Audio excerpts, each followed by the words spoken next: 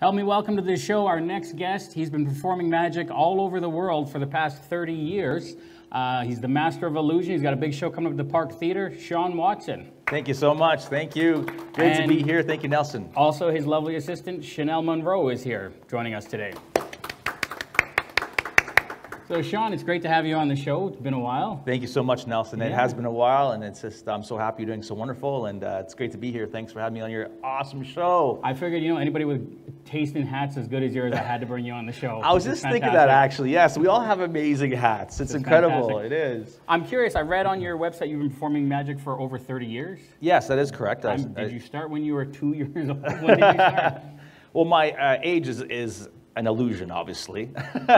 um, I started actually in Winnipeg. Um, I started when I was 12 years old. Um, uh, my dad actually helped me get into magic. He stumbled upon a toy store in Winnipeg called uh, Toad Hall Toys. Oh, yeah. And it's an amazing toy store. In the back of the toy store is a, is a little magic store, and a magician is there showing you tricks, and then you buy a trick. So my dad was there in lunch hour, and he stopped upon Toad Hall Toys, and he saw a magician.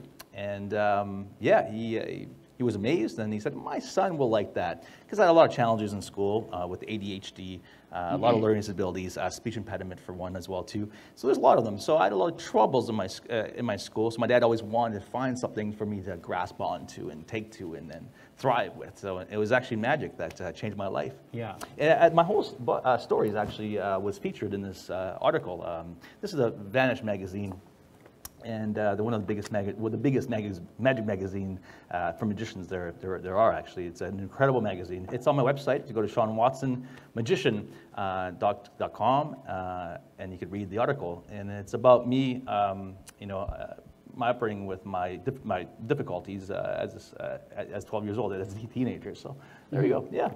So, when you were 12 years old, did you start performing magic right away? Yeah, I did. I did. I started uh, doing birthday parties in Winnipeg, uh, Okay. uh, bar, bar mitzvahs, bar mitzvahs, uh, community events, uh, all over the place. I played pretty much everywhere. Uh, Nightclubs uh, in Winnipeg. You know, I started out in uh, Palomino Club, uh, Pony Corral. Um, you know, Ice Works, uh, everywhere. Scandals was my very first big gig in Winnipeg. Uh, and we were talking before the show, and Chanel, you have uh, an album that you're working on now? Yeah, um, so I was working on the album actually right before I met Sean. So that was sort of the artistic path that I was going in uh, before I discovered magic and training to be an illusionist. But yeah, it, it sort of came about because um, we met right before COVID, and he had a bunch of shows booked on uh, northern reservations and Northwest territories and whatnot. Um, and he knew that I was Métis. And so he asked if I had anything that I could talk about before we do the magic show, um, anything to do with Indigenous issues. And I said, well, I have this whole Manitoba Métis music album that I'm working on. And so he said, let's have a listen. And he really liked it. And it had sort of gone to the wayside for me for artistic purposes. It had kind of gone to sleep, but he sort of reawoke it and reawoke my inspiration for it. So, yes, I have the demo and uh, just working on getting it professionally produced right now. Yeah, that's awesome. I was going to say, if your day job is getting sawed in half, then your only options for a future career are music or horror movies, one of the two. yeah, you just you got to keep it on the up and up. yeah. So, so how did you end up getting involved in the magic? Um, it was just a, a happy-go-lucky, lackadaisical story. Um, I was waitressing at um, this awesome restaurant called DJ's in St. James. It was like a St. James staple. It's been there for 54 years. Really awesome pizza. And I was just doing my bartending gig, and Sean walked in and sat down for a drink, and we started chatting. And he checked out my Instagram and saw that I was a performer, singer, dancer, and then asked if I had ever considered being sawed in half before. I was going to say, it's a really odd pickup line, Sean. I'd love to chop you in half one time. Well, the pickup lines actually weren't working, and then he pulled out the magic tricks. That is Yeah, correct, actually. Yes, yeah. yeah, definitely. I actually have a trick for you because it's uh, it is Halloween. sure. So let me uh, let me see something here and make sure my hands are warmed up. kind of feel like uh, Spider-Man there for one second. Ugh. What's up with that? Uh, a letter. Uh, actually, I have over here some um, some paper, some tissue. Actually, watch closely. Check this out. Look at that. It's a pumpkin for you, Nelson. Nice. Look at that, buddy. I'm gonna eat it. Little pumpkin for you. But uh, awesome. yeah, let me show you actually some uh, some some some good stuff here. Uh, deck of playing cards. Let's go ahead. Uh, I was going to say, when I was 14, I had that same problem with tissue sticking to my hand. for a different reason. so uh, take one out. Have a look at one. Uh, don't make me influence you. Pick any card Okay. you want. Anyone. Uh, yeah, obviously no. Okay. Uh, we can't uh, have any volunteers. It is, uh, you know, in, in the show, we like I said, it's uh, social distance, so we can't uh, use any volunteers. So what we're going to do actually is we're going to do like this. I'm going to uh, whip some cards down like this, and you just say stop whenever you like. Just say stop. Stop. Do you want this card or do you want this card? I'll take that one here. This one right here, Yeah. fantastic. I have over here a little marker. Uh, I want you to think of a number between 1 and 1,000. 1 and 1,000. Okay. Uh, go ahead. I'm going to go with 762. 7, 7, 6, 2.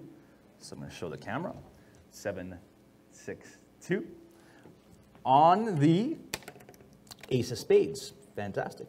Now, um, you obviously can't touch the card, so this is what we're going to do. I'm going to take the 7, 6, 2. I'm going to take it place it inside the center of the deck. There's a center right there. Actually, it's not the center, but I'm to get the cards a little cut bring it closer to the center. I'm going to try to find your card using my cell phone. Watch close. Cell phone's right here. Cards are right here. It's going to happen on the count of three. Watch closely. Check this out. One, two, and three. There's actually a card. Look at that. Inside my cell phone. Let me go ahead and put the card, actually pass the cards to Chanel. I don't know if you can see this. It's actually right here. Let me pull it out of the phone. Nelson, what number was your number? What was it? 762. 762. Look at that. There we go. All right. I don't know how, the hell that's possible. that trips me out. Okay. Um, so once again, uh, deck of playing cards, they're all different. You can see how different they are. Um, mixed up, mixed up, Okay, yep. so are the cards. Going to give the cards a shuffle. Now, obviously, I can't get you to uh, take one out. So uh, do me a favor, just say stop. As I riffle through the deck of playing cards, you say stop. As I riffle through the deck of playing Okay. cards, and that will be your card. Here we go. Stop. Just before that happens.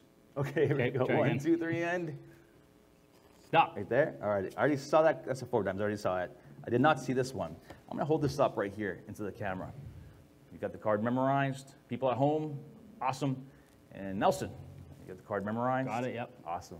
I'm not going to look at it. Actually, I made a prediction before the show even started. Uh, I drew it onto this pad of mine. I have right over here your card. For the very first time, what is the name of your playing card? Three of diamonds. Three of diamonds. Wait. Yo, I can't believe I messed it up. Ace of spades. Was it really the three? Three of diamonds. Wasn't it Nope. black?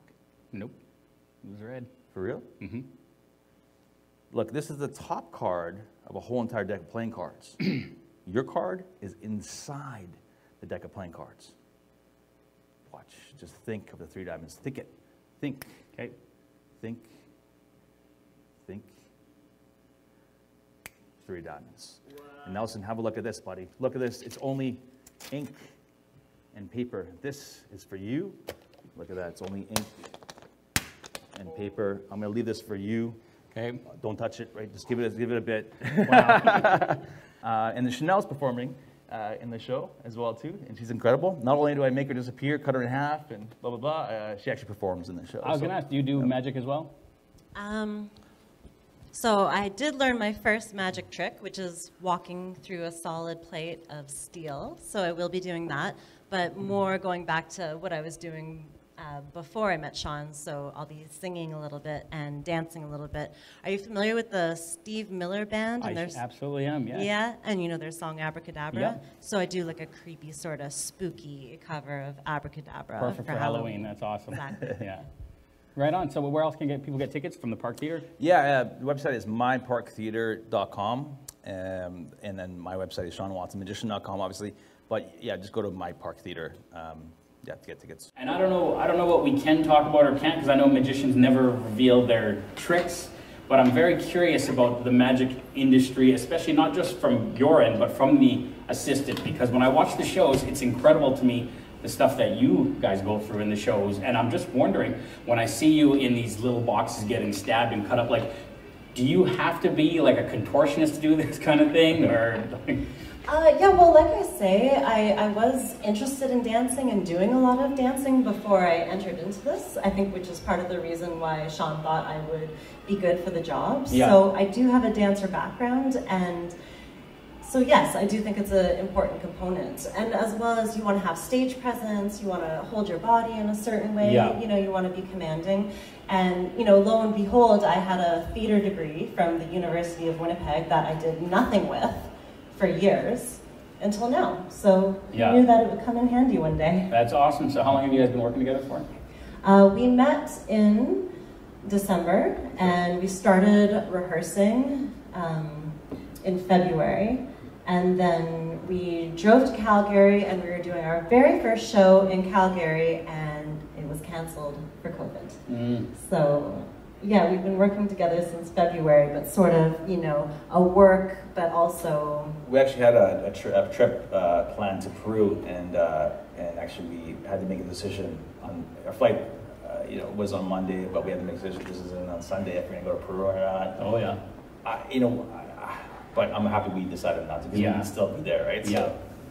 I mean, not the worst place to be stranded. No, Yeah. yeah, in the mountains, you know, but yeah. Yeah. Yeah, Yeah. It's been sort of a whirlwind. It was it was definitely heartbreaking for me because this was the most amazing career that I've ever chanced upon, and Mhm. then it all sort of got crushed Kind of in an on instant. yeah. You know, like like everyone's going through a certain type of grief Yeah. with uh, the pandemic, but you know, more and more we're just we're figuring out ways to pivot and Yeah. do virtual live ma- magic, um, how to do shows in a safe, responsible way. Mhm. Which um, we did have two weeks worth of shows in Waskesiu, Saskatchewan, Mhm. and it was wonderful, especially to perform for kids. Um, like kids were just so hungry to get out and see something Yeah. live, as were the adults. So you know, I think if we keep doing it in a safe way, that it's Yeah. actually quite uplifting for people to come to our shows. Absolutely, and I mean, they, Yeah. they need something right now because everything is getting canceled. I was going to say for myself, I had a lot of comedy shows that got canceled, and I, I follow you on social media. Yeah, I'm a fan yeah, and a friend, Yeah. and uh, I was really impressed at how you've been able to keep somewhat busy Yeah. throughout all this, and, and how well you guys are doing For sure. socially distancing and, and keeping people safe. So Yeah. I know that that's probably a concern with uh, everything that's happening in Winnipeg right now with things being shut down. But it looks like the expectation is by October 31st, things will be out, back up and open. And Sean Watson and Chanel Monroe, everybody, check them out October 31st at the Park Theater. That's fantastic. and we're going to come back with Chanel singing a song for us. So me meeting Sean was sort of a love story mixed with tragedy, mixed with art, and a bunch of different stories combining.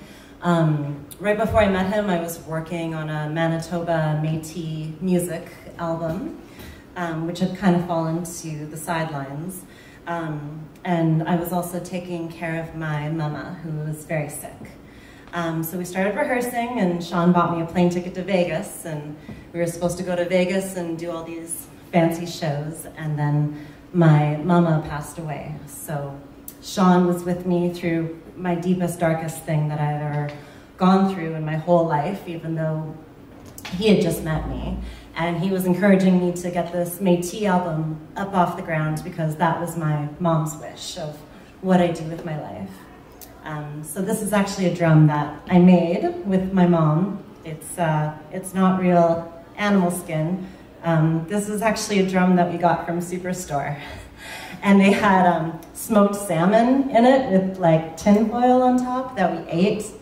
And then my mom was like, you know, this would make a pretty cool drum. So we cleaned all the salmon skin off of it and drilled holes in the side and strung it up. So yeah, this is, uh, it's my drum. So this is a song that I performed at the Tommy Prince Memorial. Um, Tommy Prince is one of uh, Canada's most decorated Aboriginal war heroes. Um, I had the honor of meeting his family and playing the song at his memorial. So this is a song for Mama and for Tommy Prince.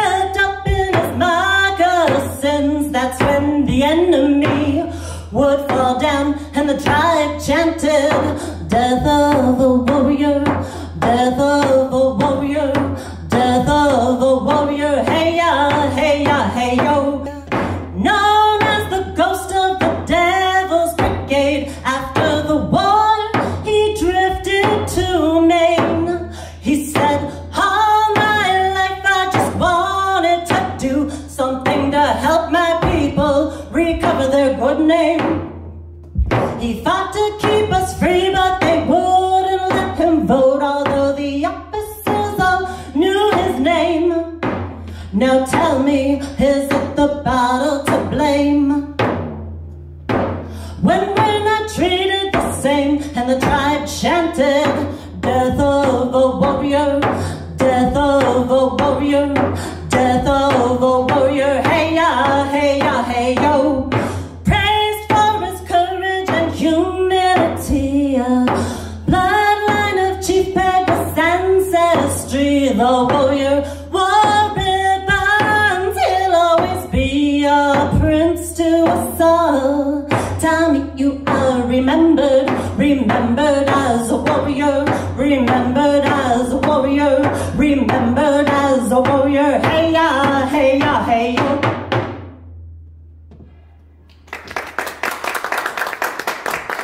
you, guys.